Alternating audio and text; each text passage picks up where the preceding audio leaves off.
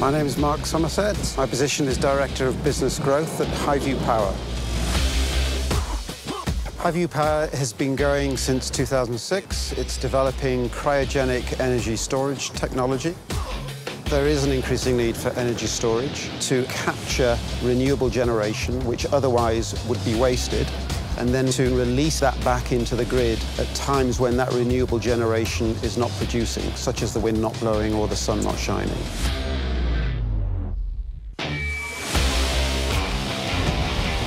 Cryogenic energy storage is the lowest cost source of long-duration energy storage. It can last for upwards of 24 hours.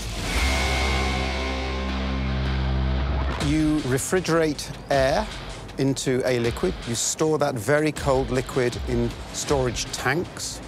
And when you need electricity, that liquid expands back into air, and that drives a turbine, which is linked to a generator.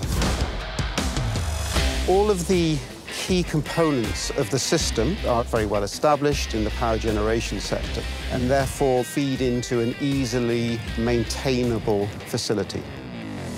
All we need is a piece of land. Our fuel is air, and obviously air is all around us, and we need a grid connection.